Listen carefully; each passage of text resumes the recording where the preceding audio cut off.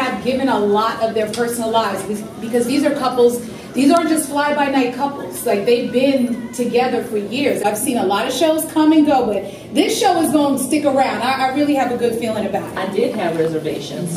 I had a lot of reservations. I told Clinton I didn't want to do it.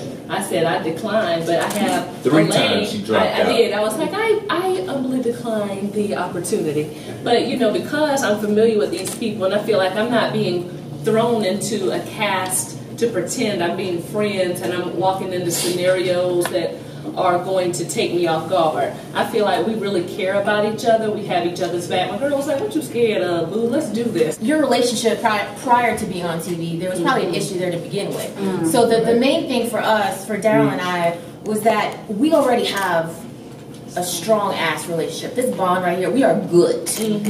I can't believe like this came out and, and this is stuff that is like the core of stuff that we have going on. And I just want to kick everybody out my house, man. I'm like, y'all get out, man. Get outside, yeah. But I'm saying the comfort level, I wasn't comfortable with it at all, but it was real. That was that was the difference. You know? Yeah, 10 years, and that was the second time, 10 years in, and this is only the second time that I've ever seen him cry. When I was laid off three years ago and the struggle that I went through and the heartache and the pain that, that I went through, um, you know, that's something that most people don't want to talk about. I'm okay talking about it. It is, it is what it is. And, It's okay um, to talk about it now. yeah, I guess maybe because I have a job, so maybe that's why I'm okay. um, but, um, Don't say that loud.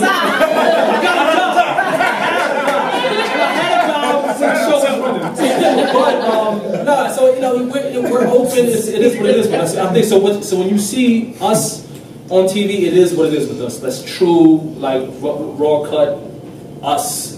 We're not holding anything back. I don't have to be gay, you know, to to yeah, to support, to understand, and to give love and respect to it. Mm-hmm. And I think there's something to be said as well just about the Oprah Winfrey Network mm-hmm. being on the forefront of showcasing where black males and minority males are a lot of the time stigmatized in the mainstream media about being bad fathers or absent fathers. And here we are, like, we'll put our girls up against any other ch- child that has ra- been raised in a traditional family, and our kids are well adjusted, well behaved, super Statistically, we have a lot of things against us gay, minority, Right. the list goes on and on and on. Yeah, and so the, for us, the proof is in the pudding, and Yeah. we are just super ecstatic to be able to get to share this experience through a trendsetter like um, like like the Oprah Winfrey Network.